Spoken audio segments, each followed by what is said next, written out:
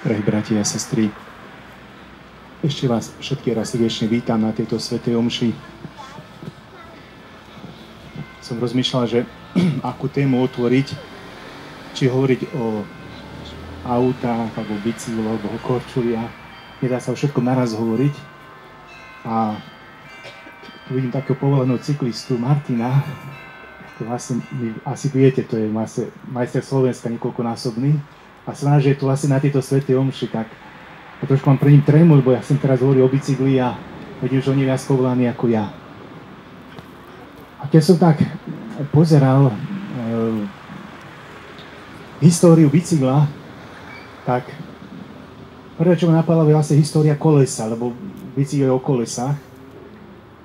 Koleso má históriu a tam sa nevedia historici dohodnúť, že či to je 4000 rokov pred Kristom alebo 3,5 nie som čítal, že 5000 rokov, ale ráta sa to vlastne, že koleso vynašli v Mezopotámii a že neskôr vlastne do kolesa navrtali dieru a e, potom robili osko na kolese, na tých dvoch kolese začali voziť náklady. Ale história bicykla je veľmi krátka, tá sa to ráta okolo 170-180 rokov. Dobre to hovorím? Ak sa milím, treba opraviť. A ťažko, tam sa nedia historici dohnúť, že kto je vlastne autorom bicykla, ale nedávno som počúval, že tento vymyslel bicykel mal by dostať Nobelovú cenu, že to je úžasný vynález. Že technologicky sa ide stále dopredu, lebo keď to zoberiem, že kedy si mal náš pôvodne, ten prvý bicykel, to bolo vlastne odrážadlo. To, čo malé deti používajú, bez pedálov sa odrážajú, tak to, to bol ten prvý bicykel. Až potom neskôr rozmýšľali, že ako to zrýchli, aby to bolo pohodlnejšie, a tak ďalej. Až nakoniec prišli vlastne k tomu, teda, že dali tam pedále, prevody, odľahčili bicykel, svetlá dali na bicykel a tak ďalej. A práve tie kolesa na bicykli, to je symbol takej dokonalosti, lebo bicykel nám pomáha vlastne sa presúvať rýchlejšie z miesta na miesto. Poviem, že z bodu A do bodu B. Teraz možno ste počuli keď sme dali ten reproduktor niekde inde, až to tak nepíska, ja tam pôjdem bližšie k nemu. Teraz ste možno počuli v rozhlase, tento týždeň, každý deň ide, sa to volá, že príbeh bicykla. A to 5 časti, počúvali ste to? A mňa zaujímala tá druhá časť, tam bola vlastne o tom, že to v histórii boli najlepší cyklisti. Že najlepší cyklisti boli kto? Presne tak.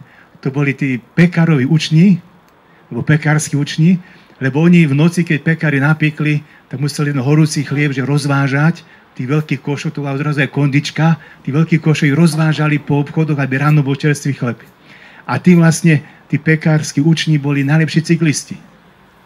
Potom sa tam spomínali aj neskoro, že vojaci začali používať bicykle, potom hasiči, že boli speciálne vycvičení na bicykloch, mali potom doslova na tých bicykloch mali aj prudnice, e, hadice a všetko, čo bolo potrebné, aby sa rýchlo presúvali.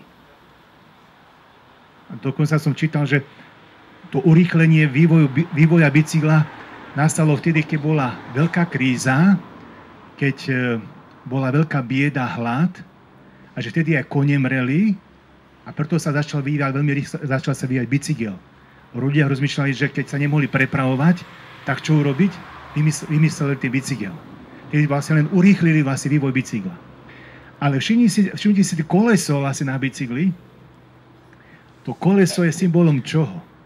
Ja som do 9 ako naposled na duchovnej obnove skúšal z toho, že ja som tam doniesol futbalovú loptu a na lopte som mi to vysvetloval, ale to je vlastne na kolese. Čo je to symbolom? Nekonečná a čomu prirovnávame nekonečno zo života, bez, bežne zo života, zo vzťahov? Keď ste boli manželia na sobáš, čo ste si odovzdávali? Také malé koliesko. Prsteň, obrúčky. A to je symbolom čoho? Lásky, vernosti, úcty. Viete, a to koliesko vlastne symbolom má byť dokonalosti. Ja to studencom častokrát hovorím, že bolo by krásne odozdávať nejakú kryštálovú vázu, aby povedal teraz ten ženich, príjmi teraz tú moju kryštálovú vázu ako znak lásky a vernosti, Teraz si predstavte, že sa to pošmikne a spadne. Čo by sa stalo? A aký by to bol symbol lásky vernosti? Veľmi slabý. Bo to bolo hneď na kusky. Koľko raz v živote niečo ťuklo dostať do tej vašej lásky, do tej vašej vernosti. A teraz prstenok, keď spadne na zem, čo sa stane? Podskočí, nájdete ho, dáte to naspäť na, na prst a nič sa mu nestane. A taká by mala byť láska, vernosť, dokonalá, že keď niečo vlastne je pri nejaký problém v živote, že mali by ste ho s Božou pomocou zvládnuť. A práve koleso na je symbol vlastne tej dokonalosti, by sme mohli povedať, preto hovoria, že to je ten, mnohí hovoria, že to je ten úžasný najlepší vynález dnešnej doby. Nakoniec sa poriete na svetých, čo majú nad hlavou. Tiež jedno koleso. A ako sa to volá? Svetožiara. A Takisto nám vlastne tá svetožia pripomína tú dokonalosť svetých. Ako ste hovorili, že to je vlastne to nekonečno, predstavuje to lásku, by sme mohli povedať, že to predstavuje vlastne e, tú obetu. Obeta má byť nekonečná, lebo e, som to keď si spomínať, ale ma to napadlo v jednej knihe, jedna matka hovorila cére, písala taký list pred sobášom a tam napísala tej cére, že v manželstve vždy, keď sa budeš obetovať, tak sa nepýtaj, koľko si sa obetovala. Aj keď to budeš mať už plné zuby, tak nehovor mužovi, povedz čo všetko som urobila. Ale sa neustále obetu, neustále prejavuj lásku. A to je vlastne ten kruh, by sme povedali, taký začarovaný, že ak to má niekde fungovať vo vzťahu, tak sa má človek obetovať, obetovať, obetovať. A samozrejme aj ten druhý. Nielen jeden. Hej? Teraz ste čakali, keď to povie. A práve v tom je tá dokonalosť, viete, aj toho kolesa. Predstavte, že by to koleso bolo niekde ukončené, tak raz na ceste spadnete. A to je dokonalosť práve v tom, že ono je, ono je vlastne okrúhle, neukončené, vlastne stále spojené a tým sa vlastne môžete po ceste pohybovať. Tak je to vlastne s loptou, je s kolesami na autách, na korčuliach, na kočíkoch, všade. To je tá dokonalosť. Pamätáte sa, keď som prišiel do tepličky, som jednu vetu vám povedal. Ja som tu prišiel preto, aby som vás do neba ja som povedal slovo, že dokopal. a, tak futbalov som to povedal, že dokopal a to som myslel obrazne. My sa máme do neba prakticky a chceme byť svetí, dokonalí, tak sa máme do kotula doslova. To je symbol toho kolesa. Hej. Tak sa vlastne to vlastne pozbudí, že dokotulujeme sa vlastne do toho neba. Snažme sa tú dokonalosť, nebuďme takí, poviem, hranatí, hrbolatí, nepríjemní, ale buďme, buďme obrazne povedaní ako svetí, ako tá svetožiara, že máme sa tam dokotúľať. Ako bicykel je ľahko, keď je všetko na ňom, všetko dobre pripravené, reťazka namazaná, duša pripravená. Tam napadá, jeden kniaz hovoril, že okolko duši sa musí cyklista starať.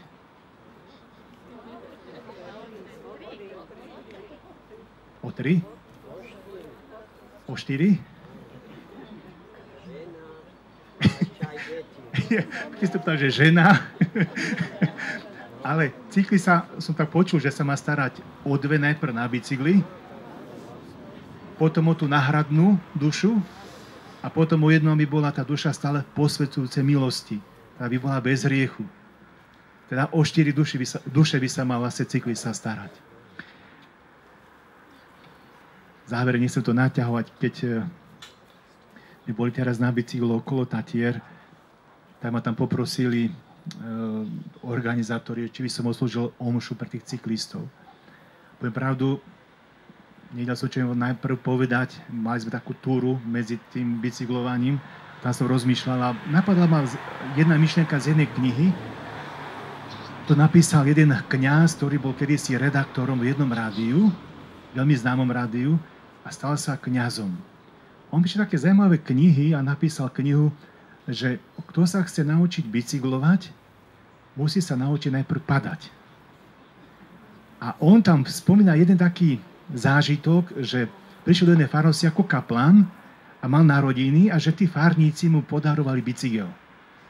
A že išli na jednu túru, aj s pánom dekánom, už bol postarší, on si tam taký starý bicykel, už vzadu ledva išiel, s dýchom nestačil. tak pomaličky už tak ako si šiel za nimi a teraz ten kaplan hovorí, že ja som prefrčal, som machroval, že ako mi to ide hneď prvý, ale dostal defekt. To sa stálo v živote. Tak zostal tam stáť pri tom bicykli, nemohol dosť do cieľa. Všetci prefrčali, tí fárnici, teraz starošký pán dekan išiel okolo neho a takto zahral, že najprv prešiel okolo neho, si nevšímal. A potom sa vrátil späť k nemu dal mu jednu životnú radu. A mu hovorí, že nie je dôležité, či budeš prvý v cieli. A nie ani dôležité, že koľkých predbehneš. A pred koľkým budeš machrovať, že ako ti to ide. Ale hovoril mu, že dôležité je aj v živote, že keď dostaneš defekt, aby si neostal sám. A preto najprv ho tak troška vystrašil, že ho nevšímal, potom sa vrátil k nemu. A teraz sa vás pýtam, a v živote koľko tých defektov máme? V rodine, manželstve, vo vzťahoch, v práci. Koľkokrát nevieme si s tými vecami, ako si môžeme pomôcť, nevieme ich riešiť a čo potrebujeme? Druhého človeka. Potrebujem druhého človeka, aby niekto doslova poviem, že dal tú spiatočku a sa vrátil k nám. Možno nás pozbudil, ako si v živote podržal, dal nám dobrú radu. Alebo aj my si to uvedome, že niekedy prefrčíme okolo ľudí a ten človek môže mať problém. Skúsme sa niekedy vrátiť tomu človeku a si uvedome, že má defekt. Možno si nimi poradiť s niečím. Tak ako mne možno veľakrát v živote ľudia poradili, pomohli, tak teraz možno to chcem vrátiť. A budem pri tom človeku. Možno keď pri ňom bude možno počúvať, niečo mi chce povedať. Možno niečím dokážem pozbudiť. Ale aby ten človek neostal sám. Nakoniec buďme vďační tak Pánu Bohu v živote, že sme neostali sami. I možno ani ľudia sa pri nás nezastavili, ale vždy, vždy tu je Boh, ktorý nám, on hovorí, že máme s nemu, že on nám bude posilou, on nám bude občerstvením. Že nás bude pozbudzovať v živote, on bude stáť pri nás, o neho sa môžeme oprieť. Že Boh je ten, ktorý sa vždy vráti k nám, aby sme sa mohli o neho v živote oprieť, keď pri nejaký defekt, tom našom živote. Amen. Pri tejto svete omši naši hasiči oslavia 130. výročie založenia dobrovoľného hasičského zboru Tepličke nad Vahom a zároveň poďakujú Pánu Bohu za ochranu a požehnanie. Slovo to ma nehľadajte, oslavujem. Hasič, tak. Než kto ma bude náňať, čo si potrebuje. A môžete, budem veselý vtedy ma teraz napadá žar, že ako ľahko prísť k bicyklu. O nie, to bolo, to bolo ťažké. hej, nie, zoberte, zoberte to dobrom, hej, čo poviem. Až to nezle nepochopíte. Pýtam sa kamarát, kamaráta, máš nádherný bicykel, ako si k nemu prišiel? A hovorí, vieš čo, on sa z Evkou bicykloval, na, ako si tak došli na takú cestičku takú osamotenú, sme tam boli potom sami. A ona sa posiela predo mňa, zatvorila oči a hovorila mi, že zober si čo len chceš. A som si zobral bicykel.